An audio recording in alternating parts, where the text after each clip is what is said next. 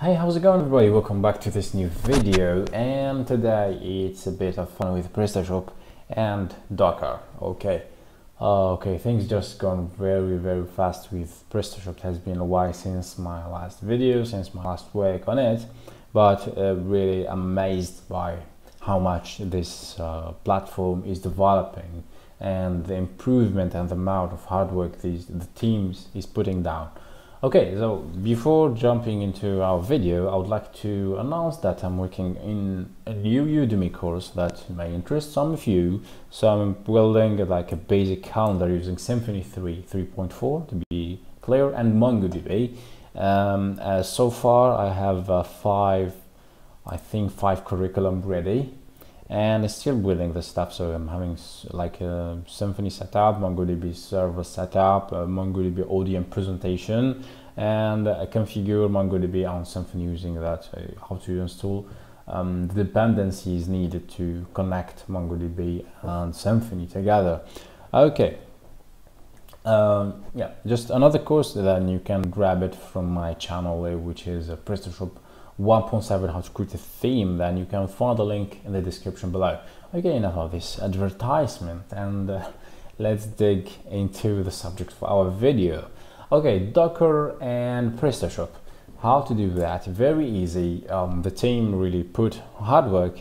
Then they created an amazing repo in github uh, github.com slash prestashop slash docker and they just told you from a to z what to do exactly uh, so just uh, by the readme file, just explain everything you need to know.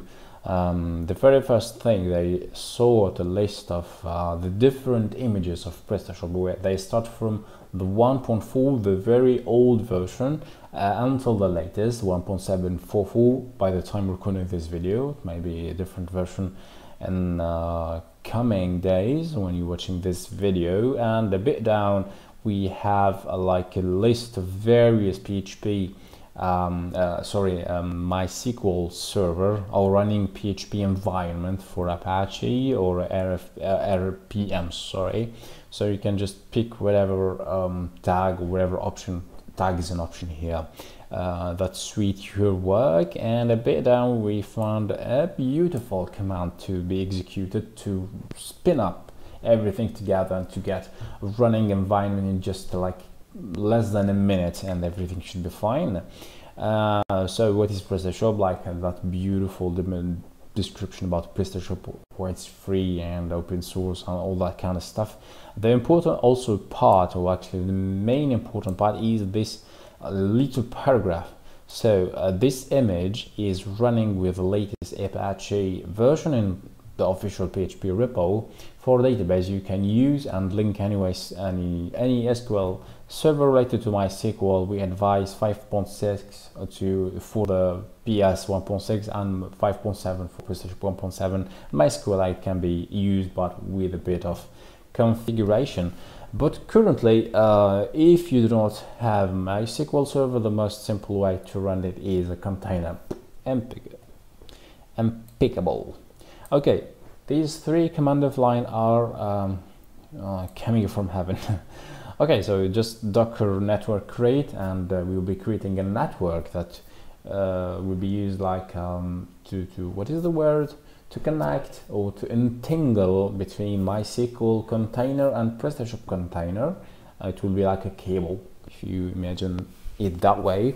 And we create a MySQL uh, container and a PrestaShop container and that should be enough. Just one thing is missing for this um, this uh, like um, uh, command uh, or uh, execution is to add the volume to, to mount volume especially when you are in developing uh, development um, stage then you need to edit your PrestaShop file update test do that stuff then the missing thing is to mount volume from your host machine to the container, okay? Um, yeah. Okay, uh, also I would like to mention a very beautiful tool that I'm amazed how good this tool is, which is Portainer. Uh, all the credit uh, to my teammate Fathi that told me about it. Um, I'm really amazed. I'll just show you what I said, but what I mean by that. Show you what? Okay, I think I'm tired. Uh, the starting point is to jump into portainer.io and from there you can just know how to install it and configure it and uh, I won't dig deep into that but the important thing that this is it you are having a UI dashboard to manage your containers images network uh, volumes everything which is really really amazing amazing okay uh, in my case, I have a, like a lot of uh, images, a lot of containers, and this is the dashboard, the main page that show you the the environment you are you are connecting or connected to. You can connect to a, like a Azure platform. You can connect to cloud Azure. If I remember, then uh, you just can manage containers from all over the globe. You know in my case I'm working locally so I'm having uh, what is this? Three containers zero stack 11 volumes 12 images uh, like a, a, big resume of what you are having it to the machine. Then I'm having what is this? Like four processors something 12 gig of RAM or something. That is not clear actually. If I just zoom a bit up I think it's RAM Oof it's uh, becoming unusable just remove this. So this is 4 and 12.5 I don't know what's that. And if I just click on that panel then I'm getting more details. So 0 stack 12 image 6 network 3 containers volumes and there you go. One of them is running and two are stopped. The one of them the running one is actually the Portainer which is itself container, imagine that. Um, big, big thanks to the team that built Portainer. Okay, I would like first to do some cleaning because um, I just messed around with this. Uh, I'd like to remove uh, pretty much all of them.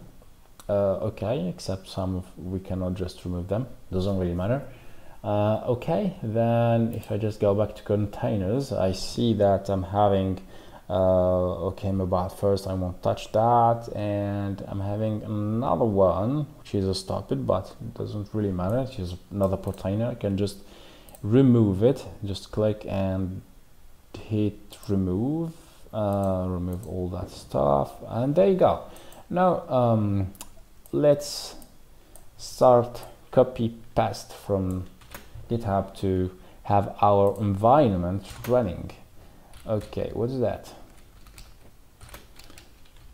Just make this bigger that you can see. So the very first don't forget to add it sudo docker network create. We're creating a network as i said like a, a bridge. Just see the word the container and the Portainer so we're creating a bridge that will be used between mysql and prestashop. Hit enter. It's ready.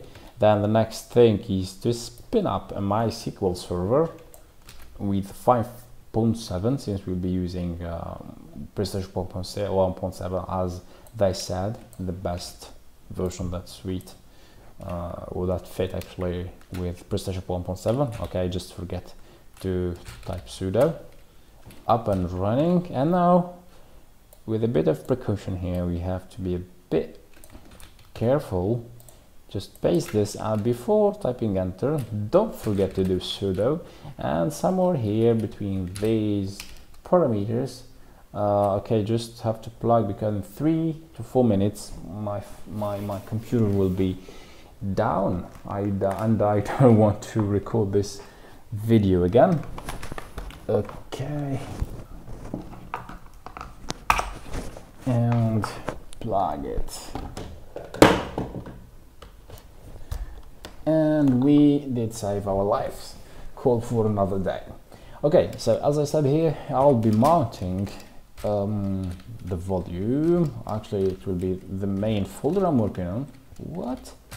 Okay so I'll just type p pwd I don't know what that abbreviation will actually mean but this is the current directory that will be mounted to this folder var slash html the classic apache folder 3w. Uh, oh sorry just reverse 3w slash html inside the, the container. And that should be fine. Just hit enter and it's up and running. Now we can just jump to the browser and uh, what is the port? We are using 8080 I think. Okay pretty cool. Then we do localhost 8080 8080 and okay. L link to the database cannot be established. PrestaShop Docker. Okay because why I'm getting this? Because I was just messing around with this file here. Okay. I was just messing around and as you as, as you see eh, we are already live between the container and the um, the, the local files of uh, PrestaShop inside the hosting machine. Then uh, this is really causing a problem and also I I think I removed uh, the install folder which is another problem then I have just to look for it somewhere uh, not sure where can I find it. PrestaShop nope. PrestaShop ah there you go fortunately it's there. Uh, all right okay this is a zip file. And get rid of this. Where is my folders? Not downloads but in home. Project PrestaShop or PHP PrestaShop.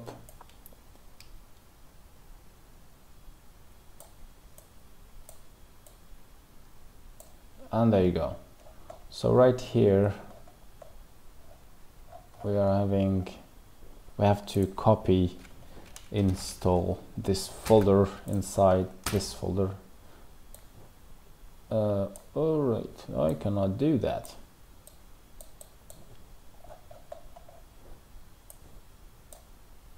I'm unable to do this because this PrestaShop seems to be locked property like I don't have permission to uh, do, change permission for owner. Uh, access file read write create and delete files create and delete file. I'm not sure that this will be allowed uh, but here uh, replace replace replace all. Okay then we are having an install folder. Yep this is it. And also have to update the config file since I just uh, messed around with them. Uh, let's see first if okay if I just do slash install then this may solve me some time oh cannot establish SQL SQLite node database PrestaShop I was still using it. So uh, the solution is to okay this is was not part of the plan but just remove parameters inside um, app folder but you cannot because uh, now you need a root access to edit it. And fortunately I'm running uh, my IntelliJ as an admin so you can go to app then config then parameters and just rename it or remove it or do whatever I want with it. Okay. And delete. Yep. There you go. Back to the browser refresh and okay I think we're still having another file that is where is this um for HTML classes. It's inside. Okay. Have to copy these parameters inside here. Uh, yep. Copy file. No whoa, whoa, whoa, wait a sec. What's this parameter? Where is this file located? Some MySQL what about getting rid of always admin remove the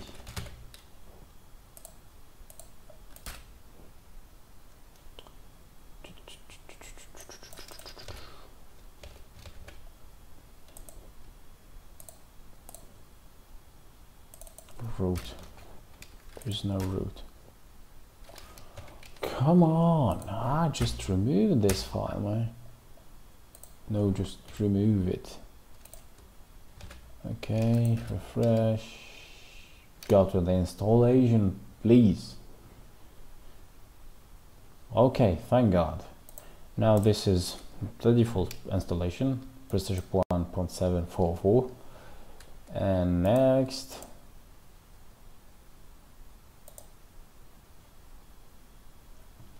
Okay classic installation. Next uh, just do some stuff. The easy classic way. Your name. Uh, email address. Password. Not sure what is it but anyway. And there you go. So time to connect to the database and to uh, to pass this step we need to go back here to um, to the uh, github repo and they they give us some information. So they said from a container in the network using some MySQL so this will be the address of MySQL server and inside here instead of 1.27 stuff just put some MySQL. The database name I'll just keep it by default PrestaShop we can just rename it whatever you want. The name of the root or the login will be root and the password will be admin. And from where did I get that? It's simply written right here. So we're having p as an admin oh sorry as password or and u or dash u or user is root. Then if I just test here then he will say that connection is succeeded to the MySQL server but database does not exist. And uh, we have two or three options the very first and easy option is just click right here on this button and just in a like fraction of a second we will have an active created database. Also exploit the tool the power one of the beautiful features uh, inside this uh, Portainer which is you can run or you can connect to uh, a, a, container and then execute um, any command inside it. So in my case, let's pick some MySQL, MySQL server, and pick bin slash bash and connect. And in a second, you will have a console active inside the container. Okay, elsewhere you can just do like a docker exec, the name of, uh, of the container.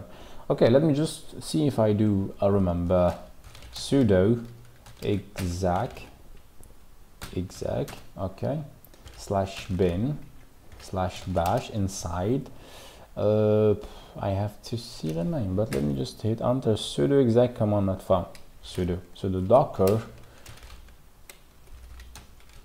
Sudo docker exec require at least two argument docker exec. Okay so first of that I need to know the name of the container so docker ps then just reduce a bit to see that's 5c0 and I will do again the same command docker exec and 5c0 no such container. Ah yeah I just reversed bones. Uh, docker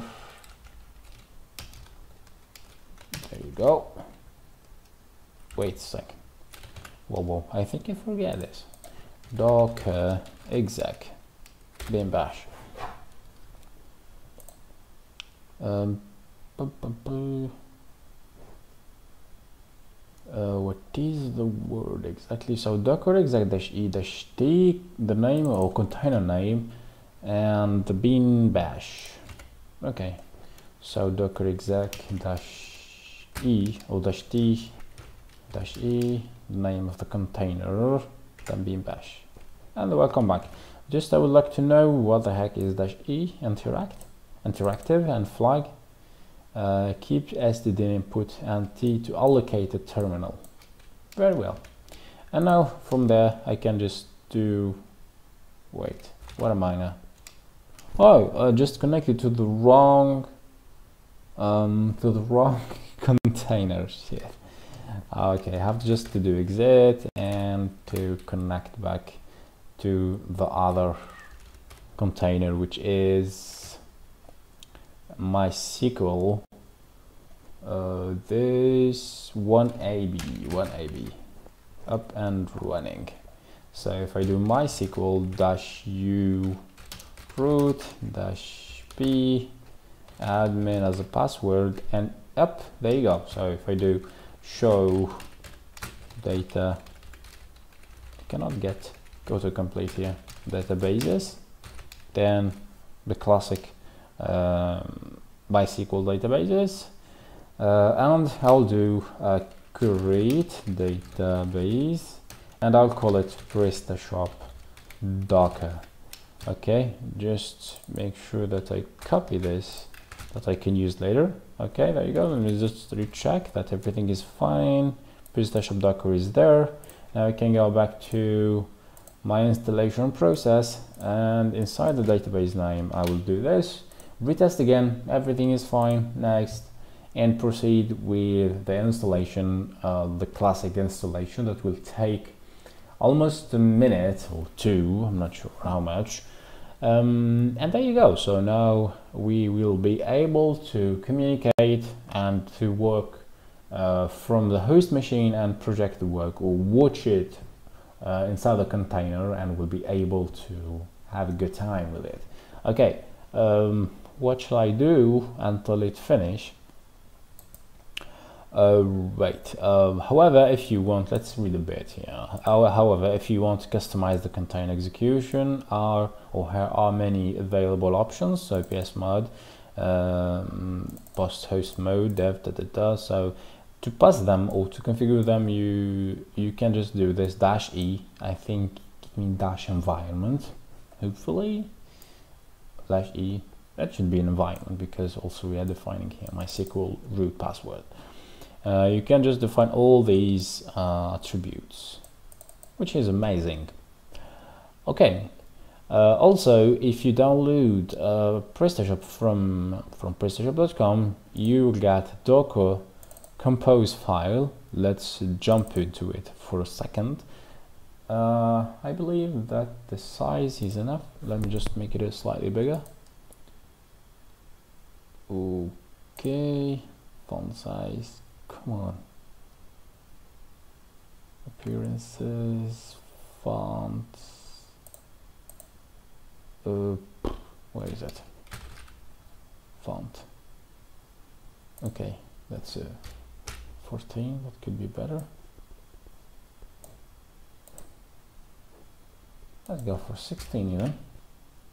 Okay there you go. So uh, we are using the volume version 2 of docker compose. I think uh, normally i work with version 3 but anyway um, the volumes we're defining three volumes here for vendor var and db data. We are having three how much service? Just two of them two services uh, one is MySQL the second is Apache so MySQL from uh, MySQL 5 the port the default one then we are mounting uh, the volumes so volumes that will be hosting MySQL file from the container to like um, to the host machine, the environment, we are defining MySQL root password, MySQL database, then restart always. Uh, I think it's missing.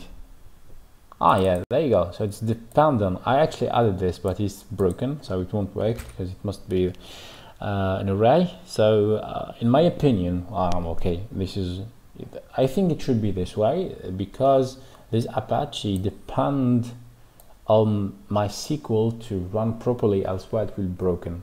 In my case, oh, in my opinion, that's why I added depends on. So Apache depends on MySQL and uh, depends on this service. Then the container name is PrestaShop Get. You can just call it whatever. And the image that we'll be using is PrestaShop slash PrestaShop dash Git uh, with the flag or the tag seven. The environment we are defining some uh, environment parameters and the ports is 80 and 1 uh, 8001 mapped to the 80 default one. The volumes we are mapping the current folder this one the current uh, directory to var slash uh, then delegated. Then the vendor to var slash da da da. Uh, there you go that makes sense. Then restore always and this could be uh, another way to spin up PrestaShop. Now if you go back to see the installation. Okay now record uh, cannot download the language pack I don't care about language just can no, no, no, installation. Start true. uh, okay creating a file creating a table. Let's watch uh, select use PrestaShop Docker show tables. There you go. So he did create tables and uh, as you may see uh, PrestaShop start becoming a bit heavy in terms of uh, tables. 211 table which is really huge. And let's hope this won't broke down again. But I think the main point of this video or the main subject is Richard is to uh, boot up uh, okay crap is that is to boot up PrestaShop from Docker and to connect it to MySQL server. And um, what's happening now is weird. Create default shop language in error occur during installation. Does it need any like network or something? I'm just disconnect that may be causing problem cannot download language package don't download it for sake of god an error occurs cannot download um, okay I think this will keep just uh, repeating itself. I won't make this video more longer. Uh, hopefully you uh, you learn, you saw how to do Docker with PrestaShop. Uh, I would like to thank you for watching and thank you for being here. And the next video, I will be answering an email from uh, from one of uh, my followers. I would like to thank him. He's from Iran. He just contacted me like a couple of days ago he had a problem with PrestaShop 1.7 he would like to add the new field to the product page uh, okay there you go so this is the email from Kevin Tahanpur I would like to thank you man. Uh, and thank you for the fine kind words. He said that uh, thank you for your videos. They are really great and helpful for everyone. And he had a question. I want to add a new field to admin added a new product form and update. Okay that did crash again. Uh, and update the database from those fields new columns added to okay just uh, understand what he meant. He'd like to added like new custom field to product in PrestaShop 1.7 normally the next video will be the, answer to it and um, yeah thank you and see you in another in, see you in another video yep it's time to get asleep.